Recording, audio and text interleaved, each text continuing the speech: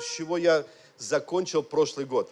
Если вы помните мое послание на 2024, это было открытые возможности дверей, да, откроются врата, которые Бог открывает, они поднимутся для 2024 врата невозможного, возможно, удивительно для многих.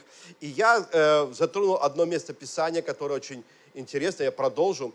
Это Откровение, 3 глава, 20 стих. «Вот стою у двери и стучу. Кто услышит мой голос, открою дверь, к тому я войду и буду ужинать с ним, а он со мною». Слава Богу, что не, не, не завтракать, правильно, а то бы мы с пасторами бы, или с братьями бы завтра, может быть, и не успели. Но самое главное здесь э, часть о том, что Иешуа говорит, я стою біля дверей та стукаю. Якщо хтось почує мій голос і відчинить двері, я зайду до нього і буду вечеряти з ним, а він зі мною. Фактически это невозможно, невозможно быть сюрпризом, потому что нужно открыть будет дверь ему. Не, это не будет сюрпризом для тех, кто ожидает, что он придет. Часто бывает, что мы неожиданно, э, когда люди к нам приходят, неожиданно нас, наша тем, что мы кушаем, поперек горла становится. Да? Этот ужин не, не станет вам поперек горла, если вы его ждете. Он говорит, я войду и преломлю с ним этот хлеб завершу то, чего, с чего я начал. Я верю, что об этом месте Ишуа говорит чуть раньше, э, в событии, когда он говорит, как я хочу эту Пасху провести с вами. Помните, с учениками он говорит, очень хочу, потому что эта Пасха именно отражение той, того пасхального вечера, когда Израиль выходил из Египта некое освобождение от рабства. Это проекция последней вечери на земле Иешуа со своими учениками. Что впоследствии все поймут как освобождение от греха, от рабства, греха, от господства дьявола над человеком. Я понимаю, что вот этот момент, Ишуа говорит, я эту вечерю сильно хотел бы провести с вами. Но интересный момент. Каждый из нас проходил седер. Помните, да? И мы делаем каждый год. И в этом году мы тоже проведем седер. Седер – это не просто, как сегодня у нас э, хлебопреломление. Хотя это и есть напоминание нам о том, что сделал Господь в ту ночь, да, который, который был предан. Он взял хлеб, он взял чашу, но также мы, мы, мы помним весь седер, то есть э, то, что должно было происходить. Там не одна была чаша, и он преломил хлеб, и он рассказал обо всем. Мы это делаем каждый год. И вот здесь, Луки 22 глава 16 стих говорится, говорю вам, что я уже не буду есть ее, то есть э, Песах, Пасху, до тех пор, пока она не совершится в Царстве Божьем.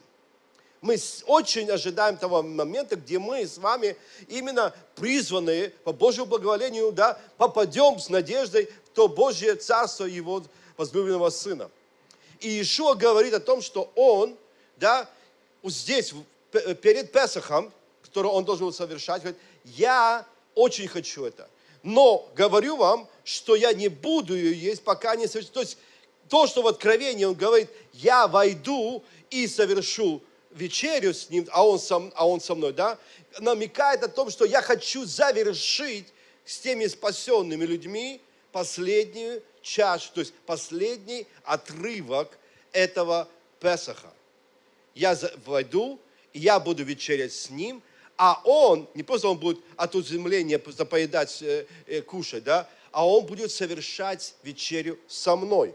И э, говорю вам, что я уже не буду пить от плода виноградного до тех, пока, до тех пор, пока она не пройдет в Божье Царство. Тут, другими словами, Луки, это уже 22 глава, 16 стих. Он говорит, последнюю чашу, а мы ее не пьем, если вы помните, да, чашу на, на Седере, это чаша в, э, в иудейской традиции, это чаша Ильи. У нас эта чаша называется чаша царства. Об этой чаше Ишуа говорит, вот эту чашу я не буду ее пить, пока не совершится именно то, э, те Пасха, то есть не завершится, то есть Песах, та вечеря, которая необходимо будет ее завершить. И не случайно, как я уже говорил, что сегодня у нас хлебопреломление. Символично? Нет.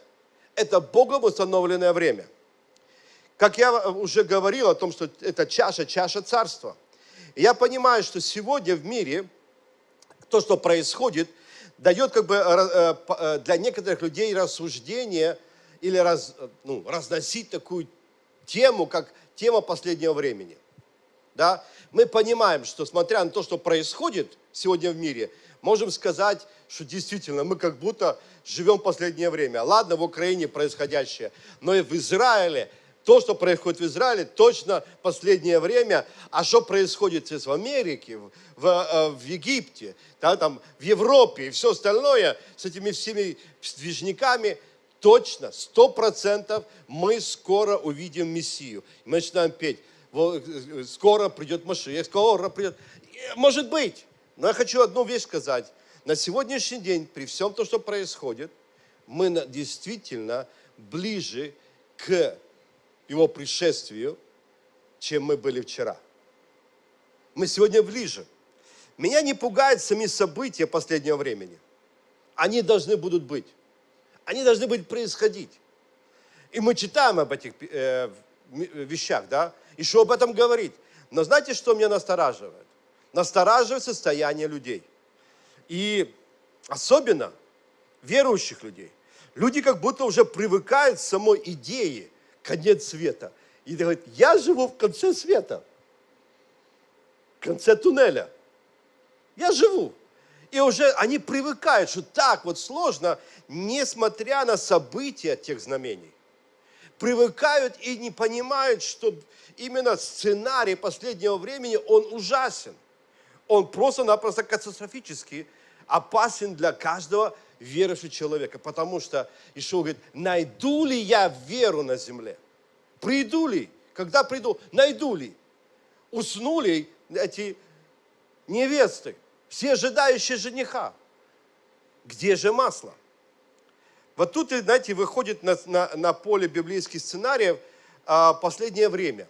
Не, не то, что сами события и знамения не выходят на, на, на поле обсуждения, но отношения с Богом. Каковы отношения человека в последнее время?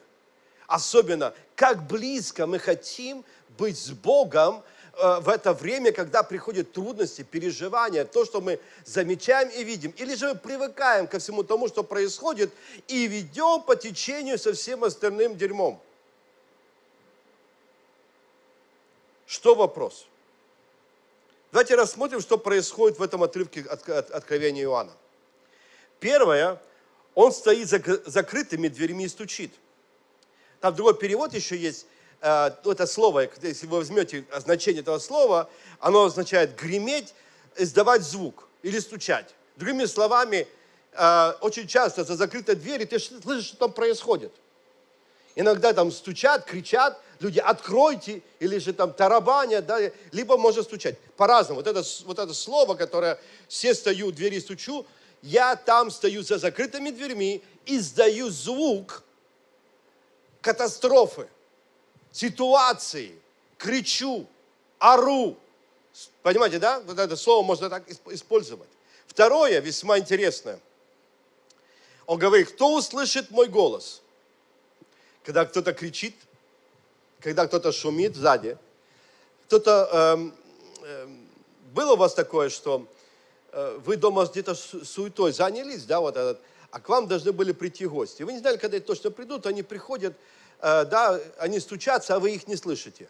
У вас включена музыка громко, прославление, поклонение, аллилуйя, слава Богу. А они стоят, тарабанят там, тарабанят, уже звонят там. Ладно, используют э, этот самый э, телефон, а ты увидел, а, точно, говорит, я же стою уже полчаса здесь возле дверей, и что, открыть сложно? И ты думаешь, а я ничего не слышал, я все был в, в небесных своих откровениях, поклонении, в звук, шума. Понимаете, о чем я говорю, да? Он стоит, услышит, кто услышит мой голос? Если в твоем доме сильно много шума, от постороннего шума, так что ты не можешь услышать его голос, беда. Третье, отворит ли кто, не зная, кто за дверьми? Если ты не знаешь его голос. если ты не знаешь. Люди сегодня понимают, что последнее время. А кто там стоит? Чей голос мы слышим? Ишуа говорит, мои овцы знают голос мой. И я, да, и они мне открывают, то есть я им открываю, но здесь вопрос, откроем ли мы? Четвертое. Ишуа говорит о вечере. Как я уже напомнил, ужин, преломление хлеба с тем, к кому он пришел. Совершить последний этап Песаха, царства. Добрый и верный раб, войди во что? В славу Господина своего. То есть войди в то благословение твоего Господина, потому что ты был найден верным. Послушайте, это, это очень важные темы для, для нас, тех, кто живут в это непростое время. Каждый из этих пунктов мы можем а, разобрать чуть попозже, либо подумать об этом дома. Я вам это оставляю, чтобы вы об этом подумали. Но сегодня я буду говорить о деталях, которые нам не приходят в голову, когда мы говорим о дверях, хотя это, э, эта деталь является, знаете, частью дверей и само собой подразумевается. Важная деталь двери какая? Скажите, ручка. Ручка – это такое. Можно, может иметь, может нет. Двери. Сегодня есть такие двери, которые ручкам не нужно. Там автоматически открываются, да? Только стоит помахать, и они тебе откроют. Или даже можно пальчик поставить, уже откроется. Важная часть дверей – к которым мы, мы говорим о дверях, это их петли, на которых они висят. Когда мы говорим о дверях, мы уже сразу подразумеваем о том, что эти двери должны на чем-то висеть.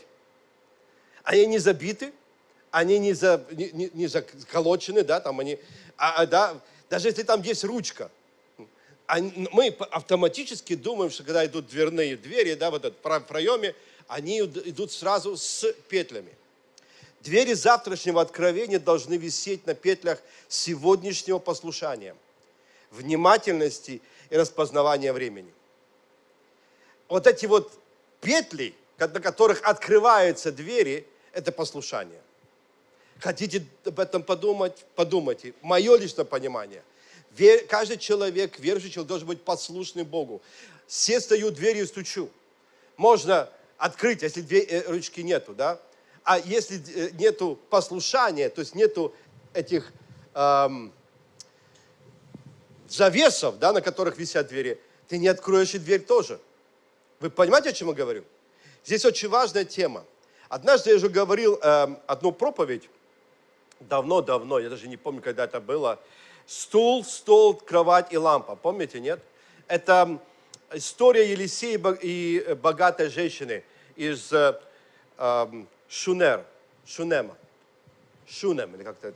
И ее говорят еще часто шуманитянка.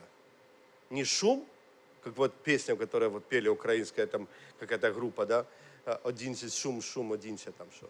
Не о том. А, давайте мы почитаем. Давайте, чтобы меньше разговора, почитаем.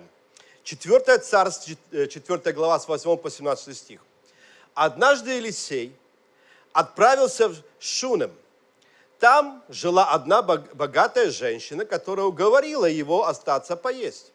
И всякий раз, проходя мимо, он останавливался там покушать.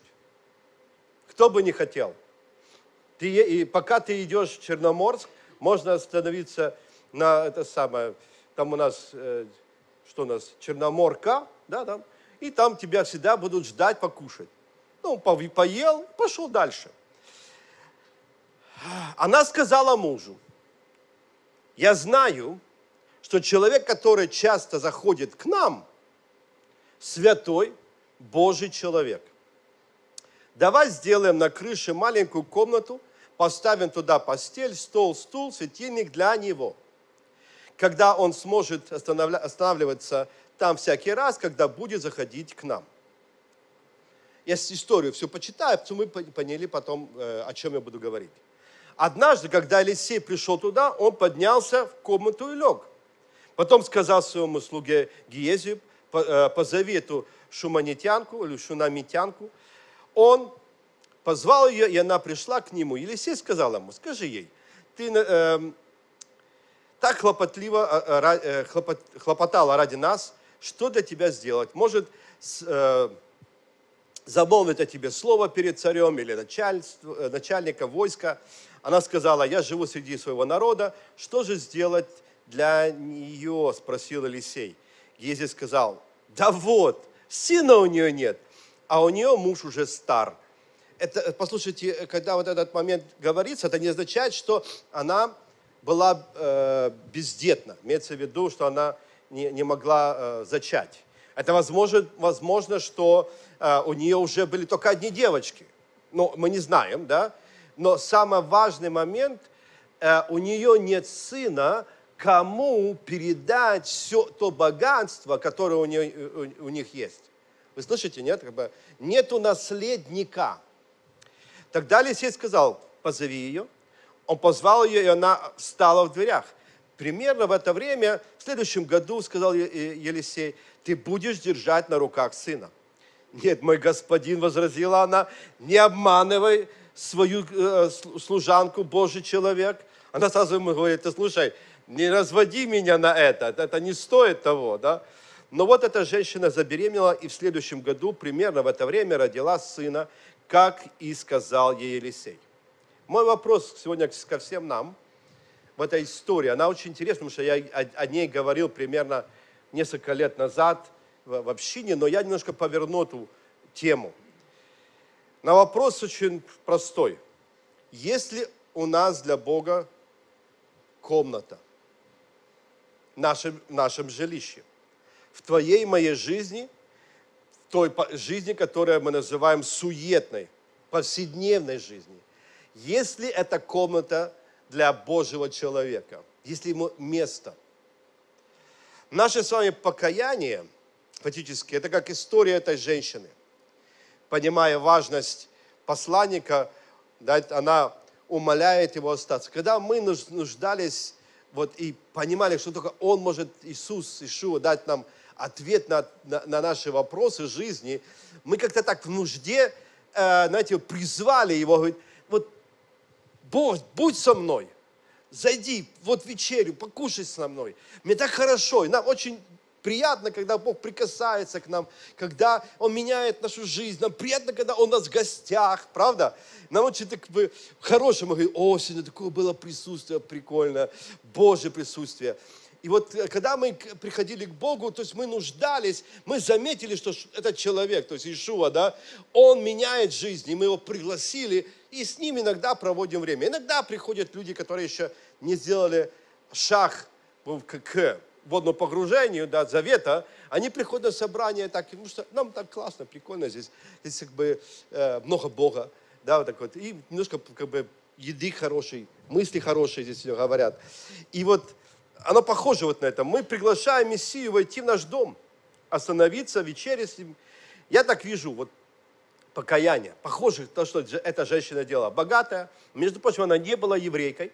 И э, видя все это происходящее, она нам классно, пускай приходит. Потом мы, знаете, осознаем, что нам что-то нужно в жизни менять. Реально нужно менять. И делаем некое пространство для Бога. Потом мы в наших собраниях, либо наших домах, мы просим Его э, не покидать нас. То есть при, оставайся с нами, утешай нас, мы ответь на наши молитвы, мы очень нуждаемся в этом. Все начинается с приглашения на вечерю, да, вот, все начинается покушать. Вы когда-нибудь знакомились просто так, да? Чаще всего вы знакомитесь и становитесь друзьями, когда вы э, приглашаете конкретно, вы приготовили кушать, приглашаете и начинаете там общаться. Там начинаете у вас дружеские отношения. Здесь в, в, в покаянии или же приходе к Богу та же самая история. Ничего нового в, э, в жизни человека не, э, нет нового. Да? Ты приглашаешь, начинаешь проводить с ним время, и это нормально. И потом у каждого из нас есть желание построить ему пространство, время, где Бог будет постоянно, э, мы будем с ним там встречаться. Это возможно, знаете, вот какие-то жертвы мы делаем. Жертву времени, жертву как бы отношений. Мы начинаем строить нечто, какое-то жертвенное время или пространство для того, чтобы наша встреча с Ним или же Его э, приход, или мы, мы так, то, чтобы Он оставался там, был постоянен. Чтобы Он видел, что мы что-то делаем, жертвуем, да. Мы уделяем в нашей жизни особенное место Богу молитва, чтение Писания, само, э, знаете, вот, созерцание, или же самообразование, библейское образование. То есть мы идем на конференции, идем же как бы и э, в семинарии, какие-то события мы начинаем строить, служение, волонтерство, десятины начинаем давать, много другие дисциплины, которые мы начинаем отделять в некую комнату, которая посвящается Ему. А послушайте, очень интересная тема, потому что на пространстве, которое есть э, вот, у нас в нашей жизни, мы начинаем выделять жертвенно, выделять особенное время или особенное э, пространство для Бога. Эта женщина говорит, у, у нас нету больше места, кроме крыши. Вот наше пространство, и мы выделяем они жертвуют с мужем, она просит мужа, хорошая женщина, между прочим, не мужу дошло это, а ей, и она как бы так немножко под, нажала, давай пойдем на собрание, давай сделаем то, другое, третье, и построим там служение наверху, выше чуть-чуть, чем они живут. И вот здесь, в нашей жизни, мы выделяем время – Последнее, самое важное, что произошло у, этой женщины – что мне очень нравится. Наверное, наверное, вопросы к нам. А ключи и право собственности на комнату кому мы отдаем? Чаще всего мы у себя оставляем.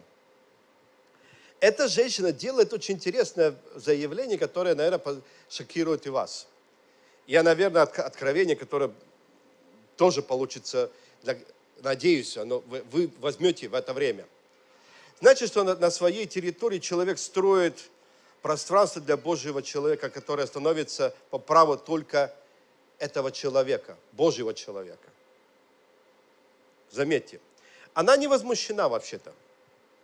Знаете, тем, что пришел Елисей, когда захотел, а ходил не знаю, часто или нет, но она заметила его. Значит, ходил по, по Божьему направлению, куда Бог посылал, говорит делать то, что он, Бог его посылал делать. Он пришел, лег, проснулся и говорит, ха, классно, удобно. Не просто пришел, покормили, и теперь иди отсюда. Я еще отдохнул, посидел, помолился. А, а кто это вообще-то сделал? Позовите мне эту женщину. Знаете,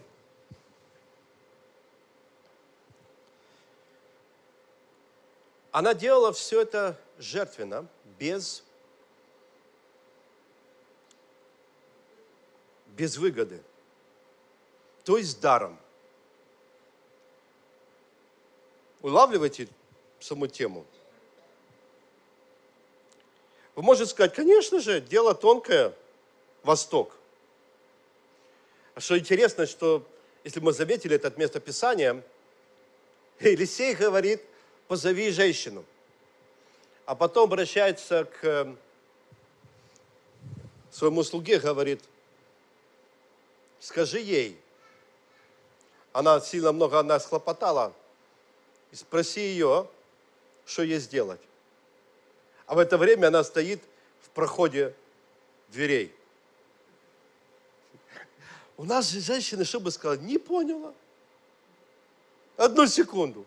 Я ему ужин, завтрак, и все открыто. Мы своей семье пожертвовали, все это построили за наш счет, он здесь живет, все это за наш счет, электричество и все остальное, и он просто использует посредника. Как-то так уважительно нужно было бы и обратиться. Если бы не я, вообще-то он ничего бы это не смог бы иметь, мог бы проходить мимо. У нас же так часто бывает. Я же так много жертвую.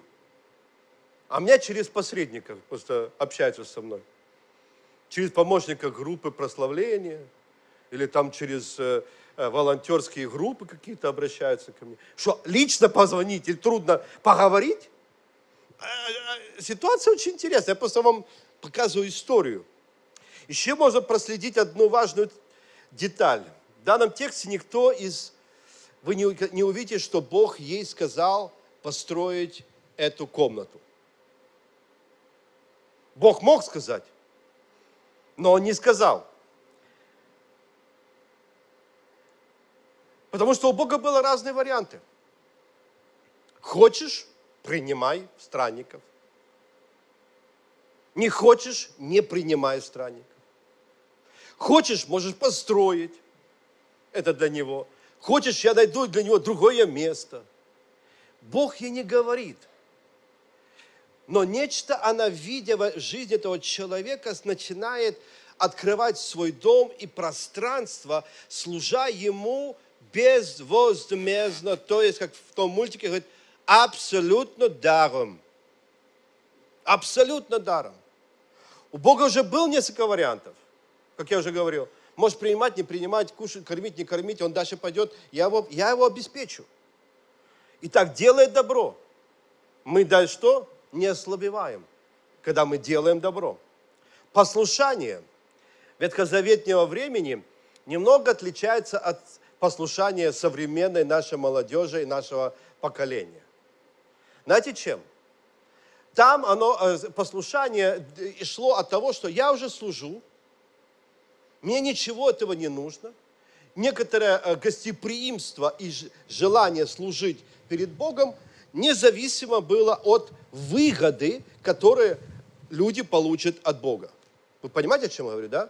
У нас же немножко послуш... Э, послушание, оно зависит от э, выбора, аргументированного мнения мы начинаем аргументировать, а почему нам это нужно послушаться Бога, а есть ли еще варианты, которые можно еще взять для того, чтобы можно было сделать то, что нам важно или же интересно.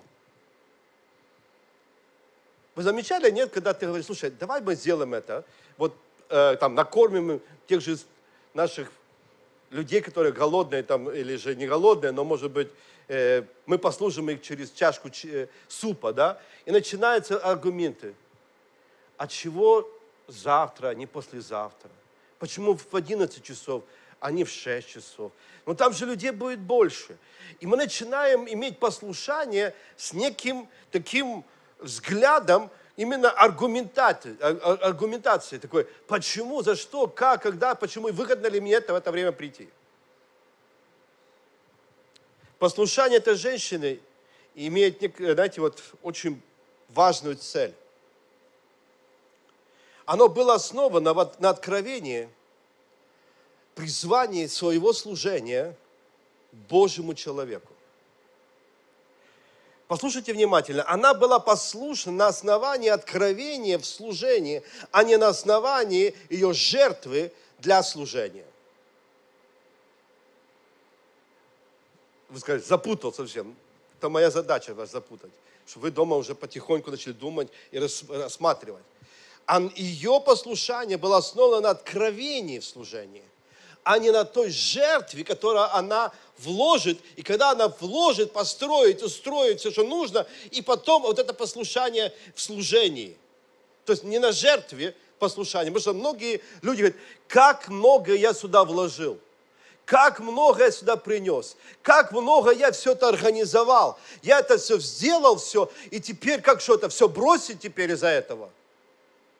И потом они тянут эту ляму извините за выражение, да, такое, они тянут это все, потому что уже как бы это не было откровением, это было неким выгодным положением. Я пожертвую, я буду служить, я, я сделаю это для того, чтобы я имел что делать. Друзья, нам нужно пересмыслить. Десятый стихом мы можем найти ключ к откровению нашего отношения с Богом. Давайте смотрим. Давай сделаем на крыше маленькую комнату. Поставим туда постель, стул, стол и светильник для него. Так когда он может останавливаться там всякий раз, когда будет заходить к нам. Украинскую щирую мовою. Щоразу, коли він зах- заходиме до нас, то зможе там перепочити. Другими словами, очень интересный этот факт, вот эта фраза этой женщины, которая, мы не знаем ее имя, мы знаем, что она шуман- шуманицкая женщина, откровение, которое мы можем увидеть, это вот в чем. Что когда он захочет остановиться, в то время, когда у него будет задача от Бога куда-то идти, когда он захочет или имеет желание остановиться, отдохнуть, он может это сделать. Улавливаете, нет? Э, э, э, У нас очень часто есть одна проблема. Мы хотим Бога сейчас много и э, вот как бы по максимально его, чтобы он сделал то, что нам нужно сейчас, в данный момент, в этот факт, и, и не уйду, пока он это не сделает. То есть мы контролируем его, что он должен нам сделать, и он должен обязательно прийти, он должен нам обязательно одно, другое, третье сделать, да, и мы хотим проконтролировать Бога, который делает, что хочет. Дорогие друзья, Он нам ничего не должен. Он же все сделал. Ради нас Он послал Своего Сына на смерть, чтобы мы имели свободу. Чтобы мы имели на самом деле свободу благодарить Бога, быть свободными людьми. И с Ним же не дарует нам всего остального. Я говорю сегодня к тем, кто хочет иметь это некое положение. Не подумайте, что я не хочу Бога, э, чтобы Он действовал прямо сейчас или не было бы исцеления. Я очень хочу. Не, не, не воспринимайте меня как неверующего человека. Наоборот, я бы хотел, чтобы он пришел, и все изменилось вот прямо сейчас. Да? Но я не могу наставить на том, ему, что ему делать. Помните историю, что на пути э, к, э, на, к исцелению, да, и Ишуа и шел с толпою, и вдруг остановился, потому что почувствовал, что от него вышла сила пока он разбирался с женщиной, э, имеющей кровотечение, да, приходит к нему и, и э, к начальнику синагоги, да, говорит, типа, поздно, дочь твоя умерла. Если бы не эта женщина, то было бы все нормально. Понимаете смысл, да? Другими словами, Ишуа имел цель. На, это, на, на этой цели э, у него была возможность исцелить эту женщину. И он остановился. Другими словами, этот пророк имел откровение от Бога идти в какое-то то или другое место.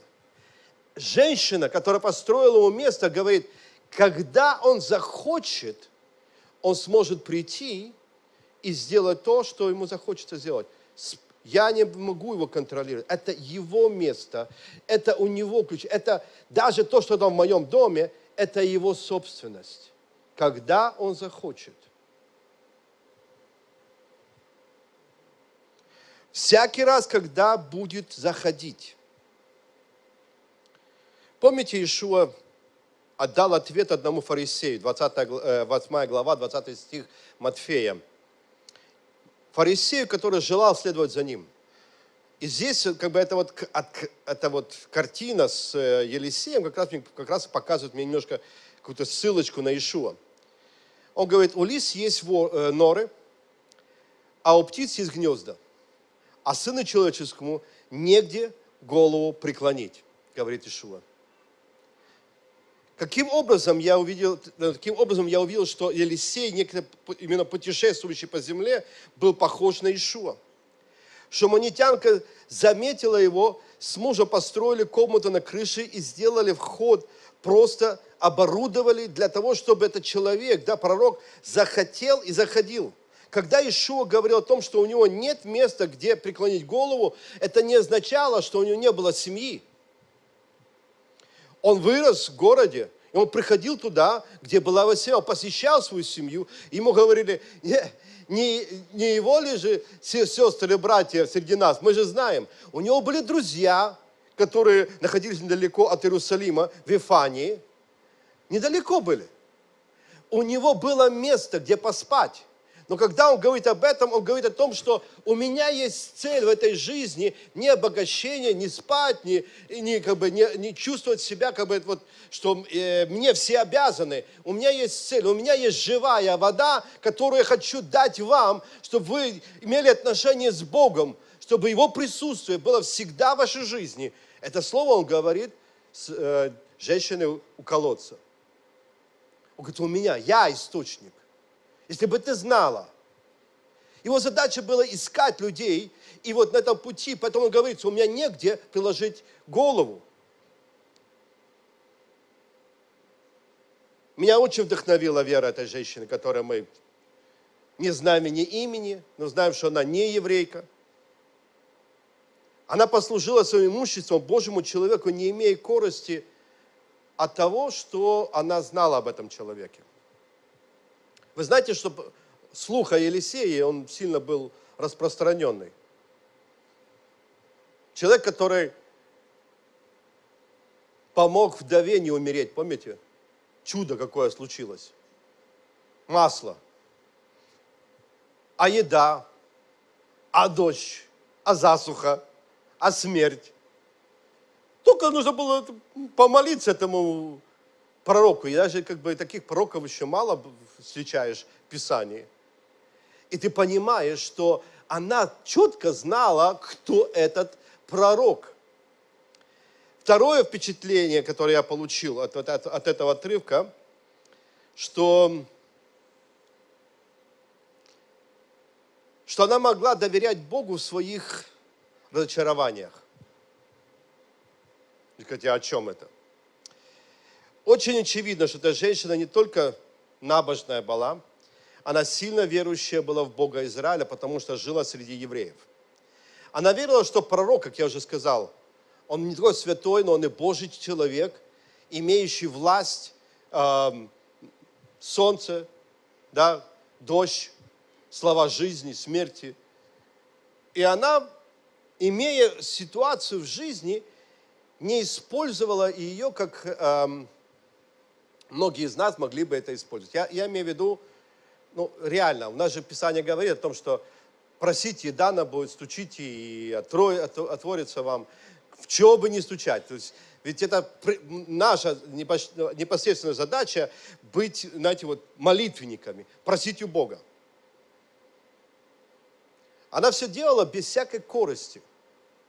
Служила, устраивала, жертвовала – без всякой корости получить что-либо от этого пророка. И даже не приходило на разум, что можно было просто попросить пророка исполнить ее заветную мечту. Не приходило. О чем я? Мы очень современные люди. Мы даже не понимаем, как жить без того, чтобы не просить. Мы понимаем это. Нам сегодня везде нужно просить а можете сделать, а не можете сделать. Ведь написано, чтобы мы просили. И за то, чтобы мы стучали в небеса, просили у Бога о том, чтобы наша жизнь изменилась. Просить все то, что для святой и благочестивой жизни. И только за то, чтобы мы просили Бога закрыть небо и прекратилась война. Но также нам нужно молиться и просить о спасении Израиля против духа антисемитизма. Нам нужно просить о здоровье для многих. Но я говорю о том, что иногда мы так много просили, что просто уже нам стыдно просить опять. Нам даже не хочется иногда просить.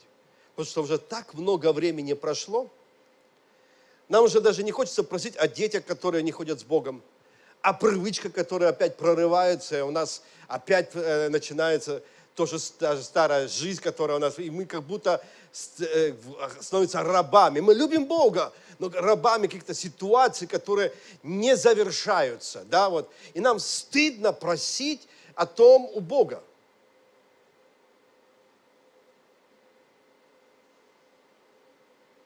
Но мы не по-прежнему любим Бога, служим бескорыстно, наслаждаясь нашим призванием. Иногда у каждого бывает так. Мы не видим счастья своего, которое мы бы хотели. И эта богобоязненная женщина тоже, тоже в такой ситуации, как мы иногда бываем. Смотрите, однажды, как я уже читал, э, Елисей пришел туда, поднялся в комнату и лег. Потом сказал своему слуге Гиезию, позови эту шуманитянку. Он позвал ее, и она пришла к нему. Елисей сказал, скажи ей, ты так хлопотно э, ради нас, хлопотала ради нас, что для тебя сделать? Может замолвить о тебе слово перед царем и военачальником? Она ответила, то есть она попала в просак. Она попала в ситуацию, которая в ступор. Она говорит, мне ничего не надо, я живу среди своего народа. Другими словами, у меня все есть, я среди живу, хотя я не еврейка, среди своего народа. Не знаю, заметили ли вы или нет, но эм, она не говорит, что ей нужно. Еще одна вещь, как я уже говорил, Елисей говорит, позови эту шуманитянку. А можно его сделать на современный язык? Немножко. Позови эту молдаванку. Он даже не знает ее имя. Как иногда нам бывает – Пастырь даже моего имени не знает. Классно? Я тут горбачусь, делаю, работаю, а мой лидер в служении даже не знает, как меня зовут. Позови эту молдаванку, болгарку, грузинку, армянку, позови ее. А потом еще говорит через посредника, ты скажи ей, скажи ей, пожалуйста, что ей надо – за то, что она здесь э, батрачила. Услышите этот момент такой. У нас же как-то э, внутри бывает такое, не знает, обидно, до слез обидно, что я здесь так служу, так много, и обо мне, моем, то, что я сделаю, никто ничего не видит, не знает.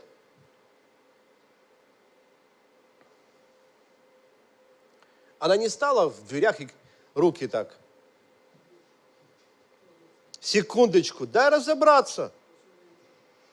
Ты не раз здесь останавливался. Напомни тебе об этом. Поел, поспал. Знаешь, сколько оно мне стоило, чтобы ты поел, поспал? А нашей семье, сколько мы здесь строили? Как мы долго это строили? Как в Ресте мы пробивали эти все возможности? Ты знаешь, сколько это коррупции у нас в, в, в стране, чтобы можно получить было разрешение на строительство? Мы и не спрашиваем, просто построили. Я кусок хлеба забирал от детей. У нас же так же может быть. Тут, конечно, нужно дать уважение этой женщине. Она просто стояла в смирении, большой любовью к Богу и понимала то, что она делала – это было Божье откровение. Даже тогда, когда люди не знают твоего имени, Бог знает, как тебя зовут. Потому что Он говорит, еще не было тебя в утробе матери, как я в совершенстве знаю тебя. Я дал тебе имя, еще тебя не было здесь на земле. Елисей обращает внимание на голос гостеприимства и э, на ту жертву, которую женщина делает – и он спрашивает, как, как нормальный человек, что мне тебе сделать? Понимаете, он понимает, что нужно вза взаимственность. То есть что-то человеку сделать на добро, которое сделает тебе. Он понимает, эта женщина внесла большую лепту для Божьего посланца. Что для тебя сделать? Сегодня этот пример для многих из нас, он актуален в нашей жизни – Тогда, когда мы послушны, мы жертвуем, в этот момент в нашей жизни мы даже иногда затрудняемся сказать, что нам нужно. Вам нужна сегодня встреча с Зеленским? А встреча с, с вашим, нашим главнокомандующим, Залужным. Вот то, что он говорит – тебе нужен встреча с Зеленским или Залужным? И она говорит, даже, даже не знают, что мне от них надо. Я спрошу вас сегодня, что вам их, от них надо? У вас же столько проблем. Они решат ваши проблемы? И она не говорит ему о своих проблемах. Кому нужна встреча с Зеленским или же с Залужным? Я, я не, э, как бы, не, не сарказм говорю, я просто говорю то, что говорит пророк о том, что нужно сделать. А она просто ответила, ответила, я уже с народом моим, с украинским народом. Даже не то, что, я там молдаванка, армянка, американка и так далее. Я с этим народом, я здесь нахожусь. Я уже здесь нахожусь, со своими проблемами, с этими ситуациями, бомбежками, со всем. Встреча с Зеленским или же встреча с э, Залужным, оно мне поможет? Я уже с народом, я уже здесь. Любить тот народ, в котором ты находишься. Абсолютно при всех нуждах. И ей ничего не нужно было. И вот Писание очень так четко говорит о том, что у нее была проблема, которую она не озвучила. Не было, не было наследника. И, конечно, она возмущается, потому что пророк узнал об этом, говорит, ты через год будешь иметь ребенка. Но я о чем? Сегодня мое послание ко всем нам э, заключается в простом уважении и отношении к Богу, тому, что Он делает сейчас – Сегодня Бог может тебя спросить, этих ситуаций, в которых ты находишься, а вещи, которые не исполнялись, или же ты уже стыдишься, уже что у тебя происходит, да? Ты просто любишь Бога, делаешь работу свою, служишь, как ты можешь, да? И при этом Бог сегодня хочет спросить, а что тебе нужно? Ты потерялся и думаешь, а что мне надо? Ну, вроде бы ничего, среди народа живу. Но Он знает сегодня твои сокровенные ситуации. Он знает, что мы можем обойтись без знакомств, решал, систем. Можем обойтись даже без денег, хотя за все отвечает серебро, серебро но не, за, не все может купить серебро. Но познать Бога как любящего Отца, заботящегося а нас с вами таких отношений хочет сегодня Отец Небесный. Поэтому Ишуа говорит, все стою у двери и стучу. Если у тебя много шумов в твоей комнате, ты не, не услышишь мой голос. Ты не сможешь отворить на послушании, где дверь просто откроется. И я хочу зайти в, это, в эти отношения, завершить пасхальный седер, обещание, чтобы ты чувствовал, что ты в безопасности. Чтобы ты четко чувствовал, что ты не оставлен и не брошен. И даже тогда, когда ты не знаешь ответ на, тебе, на вопрос, что тебе нужно, я все равно позабочусь. Я все равно сделаю. Я верю в такого Бога. И в свете последнего времени меня не пугает ситуация, как я уже сказал, меня не пугает вот эти знамения последнего времени. Меня напрягает отношение людей, которые привыкают к этим ситуациям и теряются в том, что служение Богу, оно безвозмездно. То есть ты не можешь ожидать от Него что-то чего хочется, а любить Его так, как происходит. И в свое время это произойдет. Я бы хотел, чтобы сейчас, в конце вот собрания, мы встали наши ноги. Я почитаю место Писания. Так как Рав Шаул сказал, «Ибо я уверен, что ни смерть, ни жизнь, ни ангелы, ни начало, ни силы, ни настоящее, ни будущее, ни высота, ни глубина, ни другая какая тварь не может отлучить меня от любви Божией в Иешуа Мессии, Господе нашем. Если у нас есть такое откровение, тот момент, когда мы пригласили Бога, уделили ему место.